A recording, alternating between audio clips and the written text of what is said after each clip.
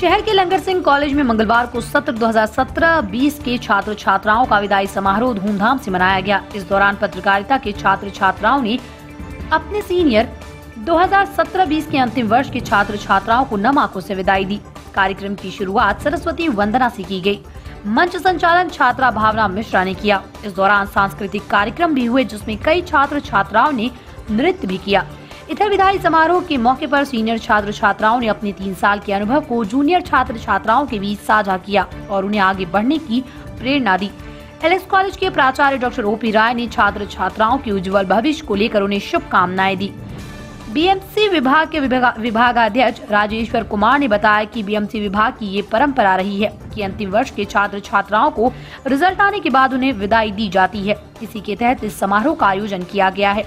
इस मौके पर बीएमसी विभाग के विभागाध्यक्ष राजेश्वर कुमार शिक्षक ललित किशोर शिक्षक वीरेंद्र कुमार समेत कई शिक्षक और छात्र छात्राएँ मौजूद रहे।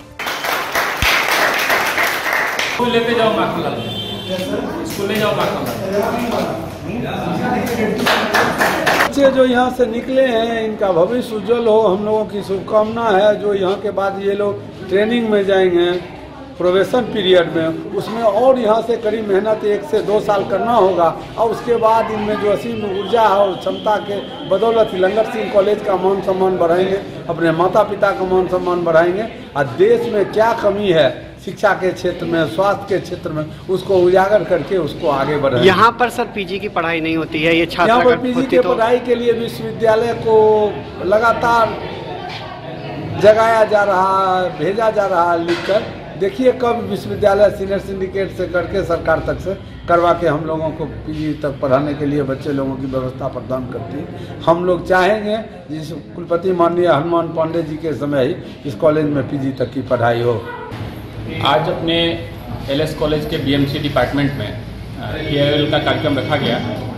2017-2020 बैच के विद्यार्थियों का, जिनकी परीक्षा का परिणाम अभी विगत महीने में आया था। जिनमें से चार पाँच विद्यार्थियों का चयन माखनलाल चतुर्वेदी पत्रकारिता विश्वविद्यालय में हुआ है। उन सभी सीनियर छात्रों को यहाँ की हमारी जो पद्धति रही है परंपरागत रूप से कि जो फ़र्स्ट ईयर, सेकेंड ईयर के छात्र मिल करके अपने अंतिम वर्ष के छात्रों को, जो फाइनल ईयर के छात्र हैं, उनको फेयरवेल देते हैं। और जो नए बच्चे जिनका नामांकन होता है, उनके लिए फ्रेशर्स वेलकम की पार्टी होती है। तो उसी कड़ी में आज 2017 से 20 बैच के विद्यार्थियों को फेयरवेल का एक कार्यक्रम रखा गया है।